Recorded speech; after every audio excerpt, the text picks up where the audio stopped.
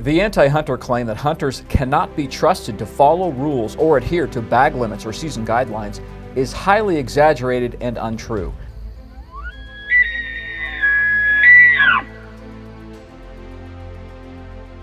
The Rocky Mountain Elk Foundation is an advocate of ethical fair chase hunting. Key to that effort is adherence to rules, regulations, seasons, quotas, and other guidelines spelled out by state agencies that oversee hunting for the purposes of wildlife management, filling the freezer, and recreation. Each year, those agencies publish booklets that spell out hunting regulations according to area, species, quota, time of year, etc.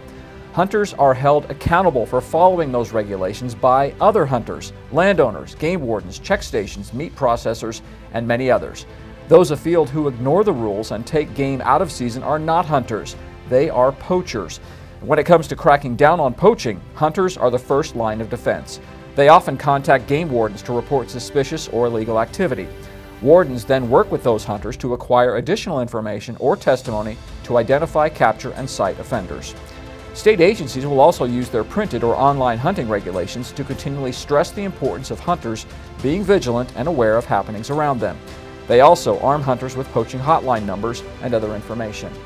Hunters seek to ensure the future of hunting for generations to come. They care about wildlife and wild landscapes, support conservation, and cooperate with state fish and wildlife agencies to combat poaching.